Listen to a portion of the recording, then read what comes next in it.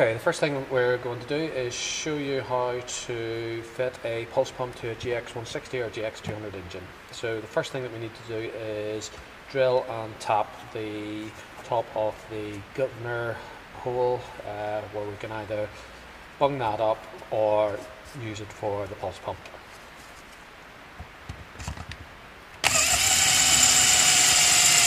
Okay, once the uh, hole has been drilled, we need to then tap it out to the correct uh, thread pitch um, to fit either the pulse pump or a bolt to bung up the hole. Uh, now, for this engine build, we're actually going to be using one of our rocker covers with the uh, banjo bolt fitted.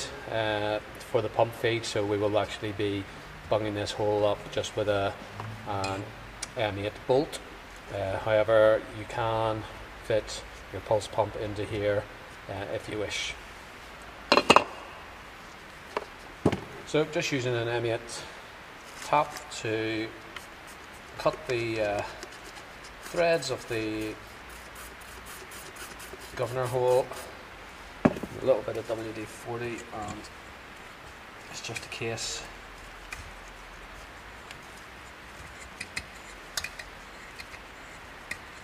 Cutting the threads with the tap.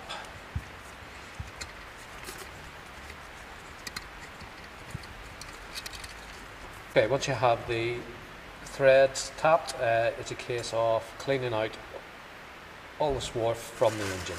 Okay, once you have the threads cut, you can either then insert your banjo bolt into that or uh, bung up the hole, which we're going to do with an M8 bolt.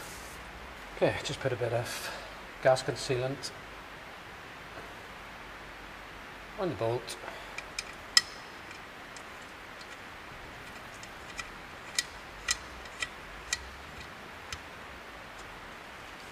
And then tighten the bolt down. Okay, the next thing we're going to show you is how to set up the pulse pump. So there'll be one pipe that will be used for fuel filter with your fuel coming in from the fuel tank.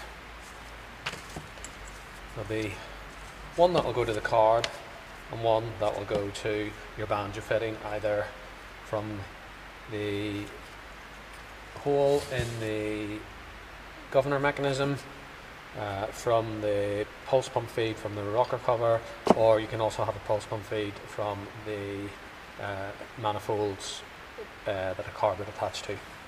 So we often get asked uh, which port is which for the pulse pumps. So basically this is your fuel in, this is your fuel out and this is your vacuum feed. So the fuel in you want to attach the line that would attach to the fuel filter and then go on down to your fuel tank.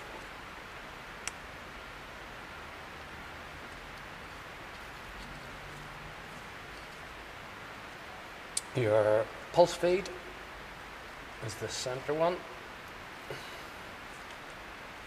The end of this will either attach to the banjo bolt either located in the top of the uh, governor hole on your rocker cover like we're going to use and uh, also that you could use the manifold from the uh, carb adapter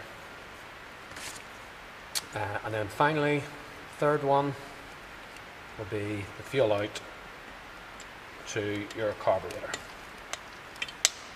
so you need to have a way of attaching this to uh, the engine somehow uh, to be able to plumb it all up uh, so we just use a simple uh, aluminium engine cover that will sit on top of the engine like this uh, with the pulp, pulse pump um, bolted on top.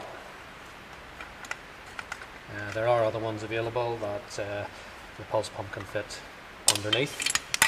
So to fit this, uh, you want to just roughly line up the holes and then bear in mind the orientation of these lines here.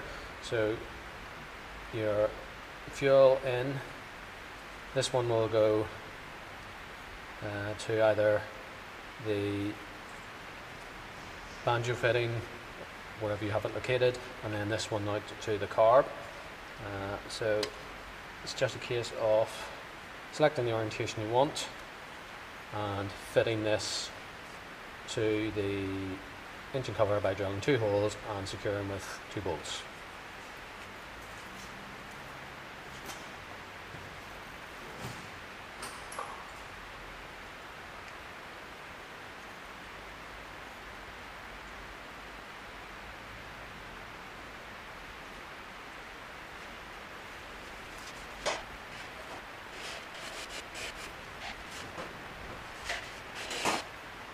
Uh, then it's just a case of securing your engine cover to the top, joining